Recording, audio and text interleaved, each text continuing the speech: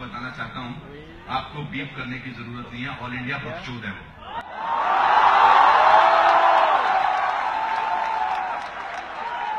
और ये फ्रीडम पूरे हिंदुस्तान को दिया उनका बड़ा पोर्टल बहुत पॉपुलर है तो कोई नहीं बोलता ऑल इंडिया आप बोल सकते हैं ऑल इंडिया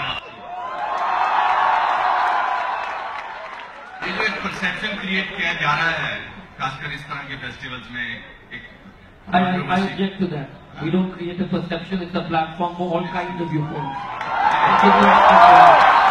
ये देखिए आपने इंटॉलरेंस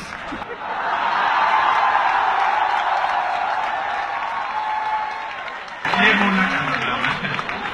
जहाँ अब मेरी फ्रीडम की स्पीच मैंने बात करना तो बीच में टोक दिया मुझे।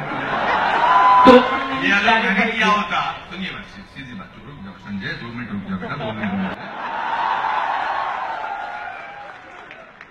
पहली बात तो ये है कि मैं किसी, इन सबको देख के लगता है कि इन्होंने स्कूल में डिबेट्स में बहुत भाग लिया। मैंने तो कभी नहीं लिया। मैंने एक बार डिबेट्स में भाग लिया था। मैंने लेडीज़ एंड जेंटलमैन बोलने की जगह लेडीज़ ऑफ़ द जेंटलमैन बोल दिया।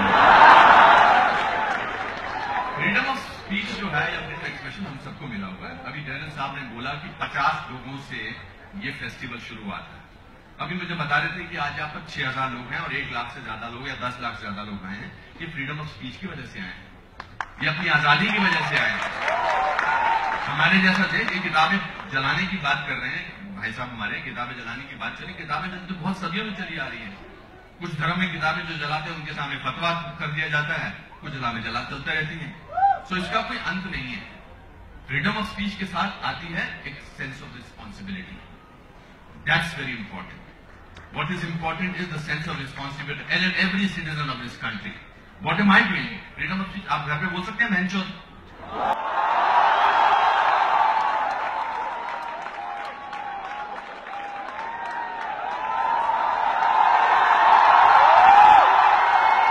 तो जो रूल आप घर में इस्तेमाल करते हैं, वो देश पे इस्तेमाल करिए तो बन- मानूँगा मैं।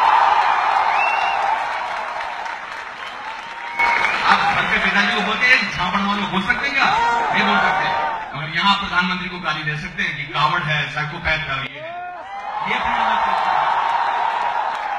ये आज़ादी हमारे देश में आपकी बोल सकते हैं। तो let's not create this construction कि हम एक ऐसे मुल्क में रह रहे हैं जहाँ बहुत डर के रहना चाहिए फ्रीडम ऑफ़ स्पीच नहीं होती है, आपके घरों में घुसे आ रहे हैं, आपको जेल में भेज जा रहा है। कोई नहीं है। यहाँ पर आज का जहाज़ की टिकट नहीं मिलती है, रेलवे की टिकट नहीं मिलती है, लोग गाड़ियों में गाड़ी चले जा रहे हैं। जयपुर में पंद्रह साल पहले आता था तो दस मिनट में अपने होटल पहुँच जाता था। आज एक घंटा लगा पहुँचने में। ताकि लोग ट्रांसफ़र हो रहे हैं। लोग खुश हैं। खुशी से भारतीय होने का फ़ायदा उठाइए। ये देश जो है, यहाँ जितनी फ्रीडम ऑफ़ स्पीच यहाँ है, दुनिया के किसी मुल्क में नहीं है।